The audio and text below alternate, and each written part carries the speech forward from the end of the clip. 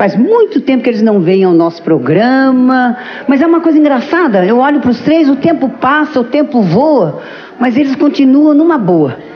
Os três do Rio. a gente ainda será.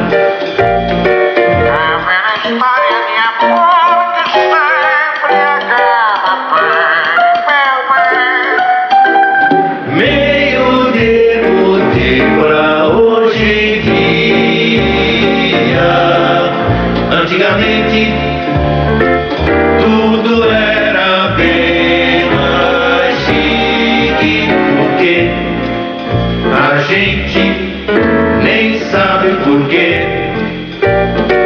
Mas acontece que eu nasci pra ser só de você.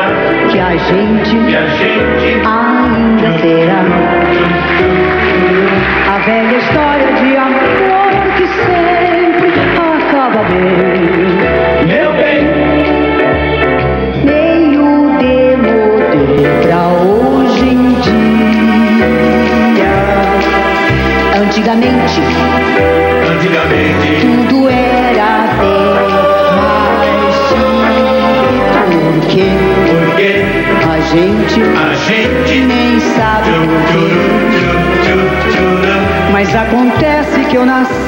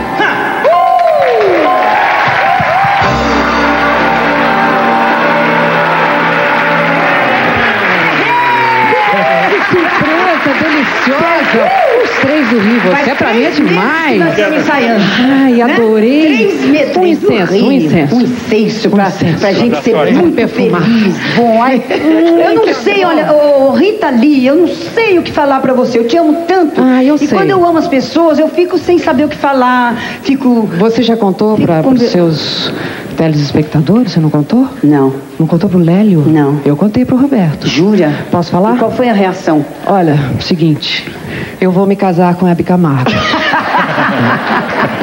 é verdade. É, você não contou? Não contei. Não, nem é, pra Angela coisa estava Rorô, mal parada hoje, né? então eu disse é melhor nem falar no assunto. Ah! Você sabe que o meu namoro com o Lélio começou assim, ele me deu um beijo e eu gostei. Então, é assim mesmo, tem que mudar as praias. Tem de que mudar, quando, a coisa tá muito monótona. Não, modernas, modernas. Então vamos falar sobre isso. Meus Vamos. meninos, Muito, obrigado. obrigada, amei. Ai, obrigada, adorei. Quero que vocês voltem aqui para falar daquele projeto do programa, hein? Enquanto não sai o programa, vocês vêm uma vez por semana aqui. Tá bom?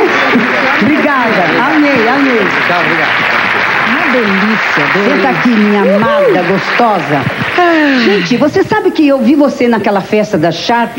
Eu fiquei com uma inveja de todo mundo que estava lá do seu lado. Por que não foi? A Fernanda Montenegro. Tinha que ter ido. Mas que coisa maravilhosa, Gostou, não? né? Tava tão bonitinho. Aquela homenagem foi muito oportuna. Porque você está voltando com tudo, com um corpinho de menina de 17 anos. O que, que é isso? Eu me baseei em você, meu bem. Hebe, você é um doce. Você. ah, é eu um sou um amor. doce. Cadê o doce? Que me disseram que eu sou Opa. um doce. Mostrar aí, já que ela falou que eu sou, deixa eu provar. Não, a Hebe, a Hebe, quando eu tava com o Dodói aqui, né, Hebe, você me ligava, eu não podia falar, né, que eu tava toda operada. E aí Hebe me mandava fax, me mandava uns, uns telefonemas. Falava tão baixinho, pensando que o Falava problema era no baixinho. ouvido, né? Olha aqui, você falou que eu sou um doce. Uma gracinha de um confeiteiro do Rei da Cocada fez o meu nome feito um suspiro. Viu, Lélio? Você pensa que eu sou má? Eu sou um doce. Vou comer Hebe Camargo. e outras pessoas, o Rami também pediu um pedaço. Será? E aí depois vai sair todo mundo aí falando, eu comi a Hebe, comi a Hebe. Meu Deus. Bom, minha amada, me conte coisas. Você, afinal de contas, ficou quanto tempo sem poder aparecer e encantar a gente? Você sabe que eu sofri um acidente horroroso, né? É. Muito pior que do Chico Anísio. E a gente quebrou. Ele quebrou o maxilar e eu esfacelei. Então foi um, um terror. E nessa, nessa época eu estava assim, completamente insegura, porque é o meu instrumento de trabalho. Claro. Mas aí eu tive a benção dos meus anjos da guarda de me orientarem para o meu médico, que é Celso Sanseverino, que é a pessoa que me curou, né, Hebe? Aí logo depois que eu soube Não, de Chico você, Anísio... ninguém imagina que você sofreu um acidente que era gravíssimo, Pois que é. te transtornou Tô com e de pino- repente você está nova. Um pino de titânio daqui até aqui, assim. Pino? Um pino, porque esfacelou o maxilar. Oh, meu então foi Deus. seríssima a coisa. Se não fosse Celso Sanseverino, que aliás é uma loucura, porque Já é San Severino. um anjo, uma É, coisa, além de bárbaro. assim, uma que que o competência. Chico não foi lá? Hum. Eu falei, eu escrevi um fax pro Chico, falei assim, venha pra cá, não precisa ir pros Estados Unidos, porque Celso e a equipe dele É. são fantásticas. Mas aí ele já estava meio cansado de médico, ele teve um problema lá na cirurgia, ele estava meio cansado. Mas, ó, aconselho a todo mundo que tiver esse problema, que não é fácil, a procurar a clínica do Dr. Celso Sanseverino, lá em Pinheiros. Celso Sanseverino em É. Pinheiros. Se precisarem do endereço, liga para nossa produção que nós não temos. Não temos Eu arranjo. Você arranja. Arranjo. Porque vai todo mundo telefonar. Porque é precisa. Muita quando gente- acontece, a gente tem que saber onde ir. Pois é, né? e com as mãos. Ele tem uma positividade, sabe? Uma coisa de positivo e de ao mesmo tempo a competência, que eu fiquei assim, tô bonitinha? Tá não tô linda. tortinha, tô tortinha? Não, tá tô tortinha. nada de tortinha, imagina. E essa, essa cartola? Tô reconhecendo. Você reconheceu? Sim. Mutantes. No tempo da garagem. no tempo da garagem. Você lembra que eu ia lá na sua casa? Se lembro, era uma loucura. Eu já beijava seus pés desde lá. Sempre paixão pela Rita, pela, pela sua criatividade, pela sua inteligência, as suas músicas, a gente ama as suas. Você sabe que tem uma música sua, que uma vez nós ficamos na casa do Chico Matarazzo, da Silvinha, teve uma festa de aniversário da Silvinha. A noite inteira nós dançamos ao som do banho de espuma. Era seis horas da manhã, nós estávamos lá ainda. Paralalalali, só. e foram parar na banheira, não? Não, infelizmente só tinha um. Então tá só bom. tinha um banheiro e é muita gente. Escute, Rita, me conte dos seus filhos. Ah, eu sei que tem um que já está trabalhando com você, toca ah, Guitarra? guitarra. É o Beto. O Beto. Isso. E os outros também têm tendência para música ou só o Beto que seguiu você e o, o- o Roberto? I don't know. Eu acho que Antônio, que é o mais novo, de 16, está namorando a música também. O do meio, que é João, de 18, está mais para o lado da medicina, o que eu acho bom, né? é Falei, bom, faça claro. psiquiatria, Maravilha. psicologia para cuidar Agora, da me família. diga uma coisa, você mãe, como é que é você mãe? Quando eles eram menores, como é que era você? Você era dengosa, melada ou era enérgica? Como é que era a mãe Rita? Tinha um lado, tem um lado ainda enérgico, assim, de escovar dente, tá levando camisinha, passou fio dental, tem esse lado de controle da saúde. Mas por outro, eu também não sou aquela mãe que fica querendo saber onde é que tá de cinco em cinco minutos. Eles sempre foram muito independentes. É, eles não ligam muito, eles acham que pai e mãe não têm experiência. É. Não é? Não é isso deles. Eles não pensam. O filho da gente pensa que a gente não, não sabe nada. E vai ver, a gente não, sabe, sabe mesmo, né? mesmo, a gente sabe umas crer. coisas antigas, né? É, Imagina, o espírito deles é muito mais antigo que É o meu. muito mais. Muito mais. Pegam a gente no colinho. eles são o tempo todo. criativos, né? Pra, É. pra fazer as coisas lá, os ficar com as meninas em qualquer lugar, banquinho da praça. No nosso tempo não tinha disso mesmo, era uma coisa difícil para fazer essas coisas, né? É, era difícil. Mas era, a um gente fundo de fazia, a gente, dava, a gente dava um jeito, fazia. Me conte agora você, você como é que está na, na, na sua casa? Os Os filhos são grandes. O Roberto é independente ou ele precisa muito de você na casa? Não, a gente mora separados. Casamos, né, no papel. Melhor vez. coisa que vocês Depois fizeram. de 21 anos, fizemos o ritual de confirmação Eu vi, do amor. que linda, foi lindo. Mas a gente mantém aquela coisa, ele na casa dele, eu na minha, eu acho legal, porque dá uma saudadezinha, dá uma tesãozinha, dá, né? Aquela- Dá. aquele Agora, o do marido também, permanentemente, especialmente na mesma casa, isso eu falo com experiência própria. Eles acabam não dando muito valor para a mulher, eles não veem as coisas boas que ela faz em casa, só vê as coisas provavelmente erradas. É bom uma saudade, não dá né? valor pro, pro- É. pro dia a dia da dona de casa, É né? bacana ter essa coisa É. separada. Ó, falar aquela ideia de novo, viu? Ah. Vai esperando aí. Faz aqueles bicos, faz aqueles bicos. Cada bico que vem aqui, né? Olha essa lâmpada! Oh, ninguém viu que essa lâmpada tá queimada! É assim, É mesmo? muito delicadinho, um amor. Sei. Muito. Sabe que a gente vai se casar e continua assim, não? É verdade, Hum. é verdade. Tá bom. Me conte mais coisa. Eu quero, eu quero saber negócio. Bom, já falei dos filhos. Eu tenho o negócio da companhia dos anjos, por exemplo. Você, você é muito mística, né? Eu sou curiosa. É, eu tro- você trocaria, por exemplo, a companhia dos anjos por uma um, acertar na loteria? Não, não, eu acho que não. É bom a companhia da luz, né? Eu, eu, meu- meu- eu sempre foi, desde pequena, eu, minha- agora que esse disco Santa Rita de Samba, desde pequena eu vi- me vestia de anjinho, eu conheço vida de, de santo. É uma assim. delícia acreditar. Eu adoro, é, eu gosto muito desse lado. É com o maior respeito. Eu me vesti uma vez de Nossa Senhora Aparecida, mas foi com o maior respeito, assim, uma. Claro, com devoção. É, eu adoro essas coisas. É, você sabe que eu tenho Nossa Senhora da Aparecida, eu tenho lá em casa um, um altarzinho que eu ganhei da Tina, e todos os meus santinhos, minhas santinhas, eu coloco lá. Quando eu viajo, a Nossa Senhora vai comigo.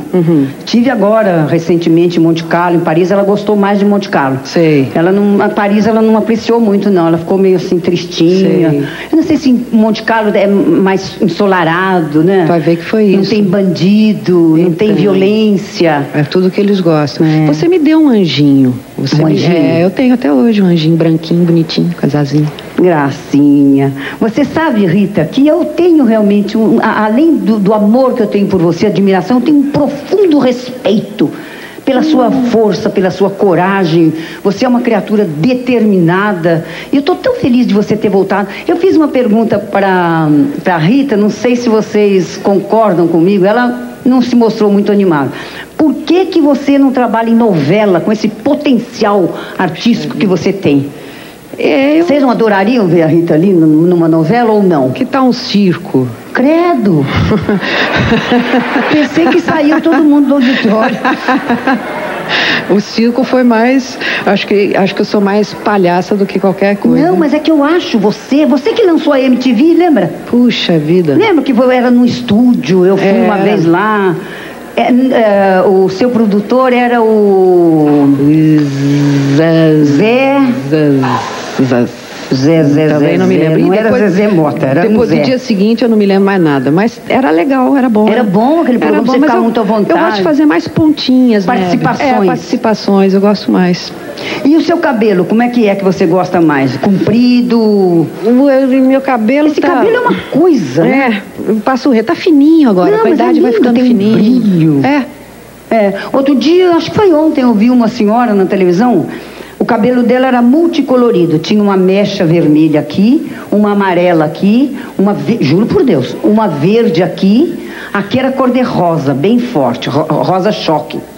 e, e, e bem grande assim, e ela fez a unha combinando o, cada dedo com a cor de uma mecha. Então a unha era bonita, tinha uma amarela, uma azul, uma verde. Uma mulher arco-íris. É, uma mulher arco-íris. Uhum. Mas ela é muito inteligente. Uhum. Só que eu não sei por que, que tão inteligente usar um cabelo daquele. né? Porque não é, não é artista que vai fazer graça. Uhum. Porque o artista, eu acho que de repente pode até tudo. Fazer isso tudo, botar uma peruca azul, a gente faz umas brincadeiras. Você é muito moleca. Nunca você pensou em fazer uma loucura assim no seu cabelo? Eu já fiz, teve uma época assim da juventude, né, Hebe? Ah, não fala nisso, pelo amor de Deus. Mas agora, com beirando cinquentinho, eu vou fazer 50 dia 31 de dezembro. Então. Você não vai fazer 50, não é possível. Vou fazer cinquentinha. Ai, mas tá tão bom ficar velha, tá uma delícia. Ah, mas aí quando tá a gente bom. olha no espelho, fica triste. Não, não fica não, tá bonitinho. Fica pelada na frente do espelho, você ainda pode. e você é aquela também, história você não pode se queixar, ainda. É, Bi? do favor. você não pode se queixar. Não, eu sei, não, tem tá espelho gostosinha. Tá não, muito roupa gostosinha. dá pra quebrar o galho né? Ou no escuro. não, não. Já te, vi de, já te vi de calcinha, hein, Hebe Camargo? Puxa, meu Deus, não Uhul. fica entregando assim, meu Deus. O que vão yeah. pensar de nós? O que vão pensar de Tudo. nós? Tudo.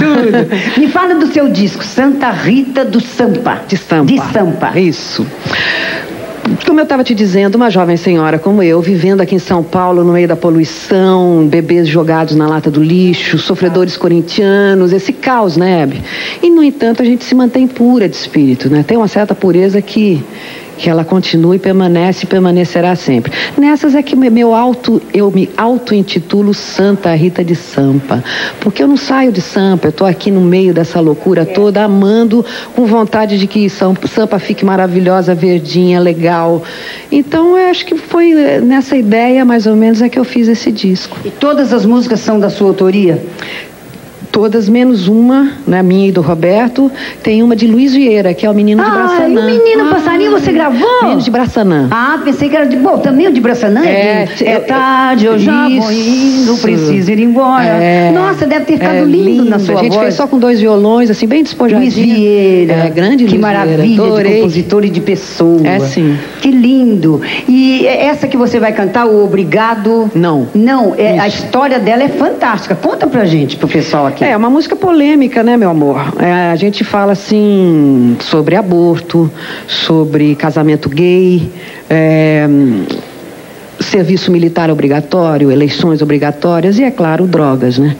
Então eu, eu assim, mais enxugando o assunto, assim, com relação a drogas, eu acho, eu falo assim na música, diga não às drogas, mas seja educado, diga não obrigado. Isso daí porque eu acho, essas campanhas entre drogas, eu sou uma enciclopédia ambulante de drogas, você não sabe. Porque eu entrei em todas e saí de todas, Graças que é uma, uma coisa de dinossauro mesmo, de sobrevivência.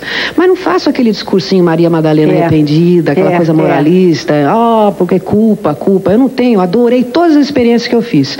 Só que agora, beirando cinquentinha, você vai selecionando melhor, né? Dirigindo seu vetor mais para o lado espiritual, esotérico, esse, essa coisa toda. E eu acho que essa, as campanhas antidrogas são muito ineficientes. É. Parece coisa tirada do manual de escoteiro do Pato Dono, não entra na cabeça da criança. Não fixa nada. Não fixa. Então você tem que lidar, porque bebidas alcoólicas rolando soltas, com propagandas bacaninhas, e de repente diga, não, as drogas. Peraí, que drogas? E, e o álcool? Sabe? Ou tem uma certa honestidade e coerência, ou então a meninada não Mas engole. é que eu acho, Rita, que nada dessas campanhas tem honestidade. É. Sabe, nada, é uma coisa tudo assim, só para dizer que está fazendo, ou que está é, falando alguma coisa. Na realidade, coisa... não estão fazendo nada. É. Outro dia me, me, me, criticaram porque disse que eu não falo mais nada de política, que eu não critico, que eu não critiquei o Pita, que eu não critico não sei o quem, que eu criticava Erundino. Eu critiquei todo mundo. Adiantou? Adiantou alguma coisa? Quase fui presa, quase me tiraram do ar. Não adiantou nada. Eles, você não pode falar. E também se falar, não adianta é coisa nenhuma, porque eles continuam fazendo a mesma coisa, os bandidos continuam aí com a mesma liberdade, o secretário da segurança continua o mesmo, porque o, o meu secretário da segurança, não tiro, não tiro. Então não adianta falar, não é? Não adianta. Adianta é um amor, você é um amor. Você devia ser presidente da República do É, Brasil. imagine, Deus me livre. Aí não deixavam fazer E nada. eu vice. Você vice. Então tá, tá lançada a chapa.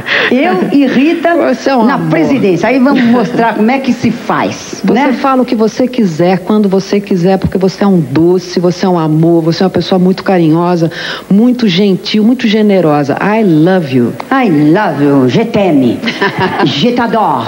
Vamos cantar Obrigado Não com esta extraordinária nossa amada Rita.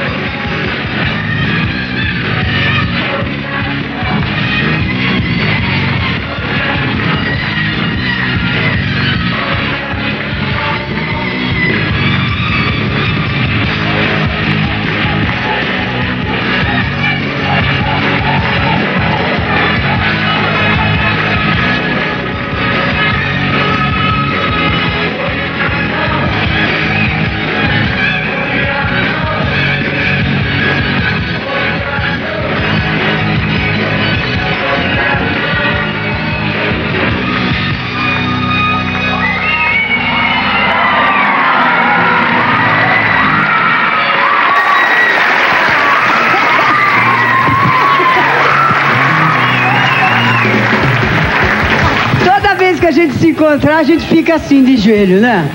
Eu vou ficar sempre. Eu também. Vou cair de boca em você. Ê, minha linda! Quero você mais vezes aqui, hein? Tá?